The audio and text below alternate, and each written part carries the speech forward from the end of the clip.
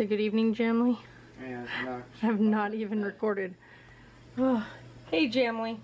So I have not picked up the camera at all today. One, I just woke up. Um, it's late now, but I did take a nap. But here's the reason I did not vlog today. I was on a phone. Uh-uh, don't put it in the fridge. Um, I was on the phone for a long time today. We did a big meeting for Sarah's school. Can you get out of the way though? Um.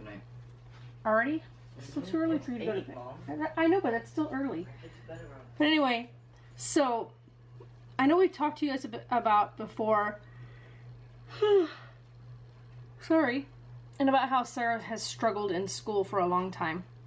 And so we have been repeatedly real persistent with the school trying to get Sarah some assistance, trying to get like the teachers and the district and anybody to listen that Sarah was having some struggles when it comes to learning and nobody would listen. For 4 years out here since we've been back out here, nobody listened.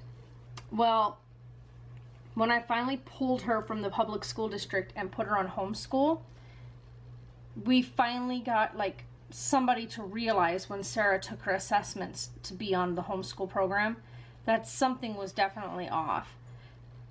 Finally, finally, they finally got through all of Sarah's testing these last two months and have realized and have approved Sarah for the special education program and for her to go ahead and have an IEP as opposed to just a 504 plan.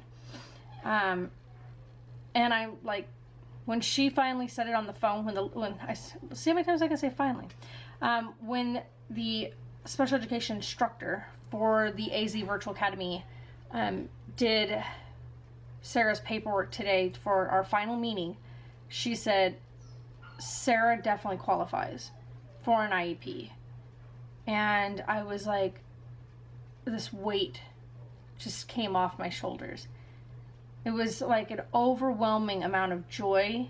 And of course, I was in tears at that point because watching Sarah struggle in school, watching her every day lose more and more faith in the school system, watching her fall apart and cry at the end of each day because she's so flustered and so confused was heartbreaking. Watching that part of your child struggle and nobody listen is heartbreaking.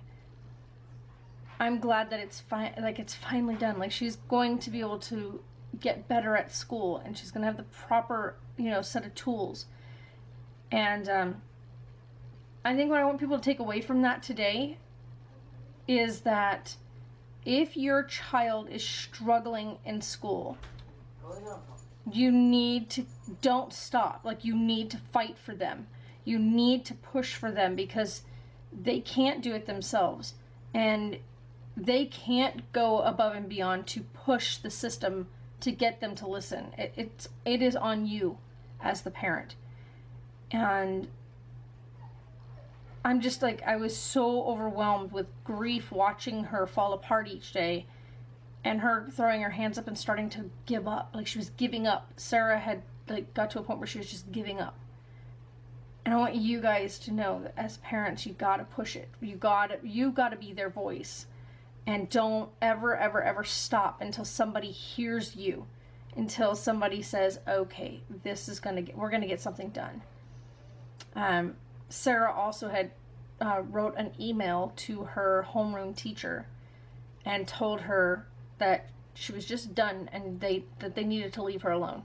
That quit asking her for more work and quit asking her to do more stuff because why should she do more stuff when nobody wants to listen to her in the first place? And she was so flustered and the homeroom teacher said that it was like a red flag that this child had given up completely on her education. And I said I had told you guys that before. I told you guys that before we got into this program that Sarah was she was uh she quit. She just in her mind she was done.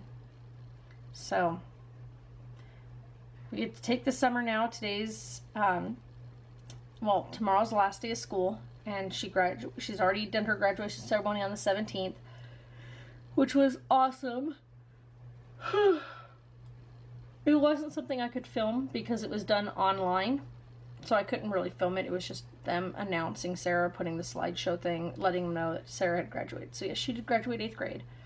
Um, but my baby is now officially a freshman, and she is officially um, set up through the Insight homeschool program.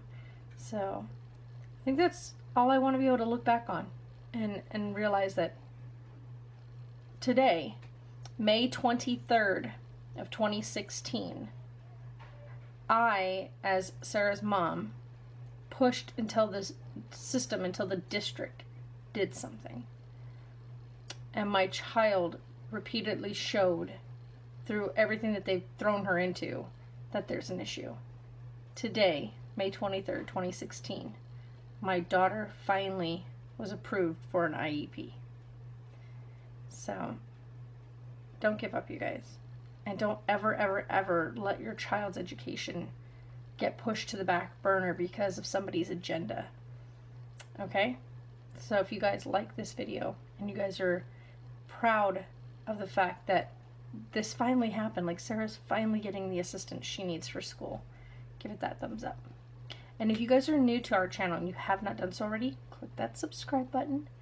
Come back, see us again tomorrow. We vlog it every day, whether things are good, bad, or sometimes even boring. And hey guys, thanks again for watching. Yeah, I know we had to do this all over again. Smell like. okay. Anyway, Taylor, go ahead. I know that Taylor. UCLA, which for video games. That's awesome. And what about you? You already said what it was, but they didn't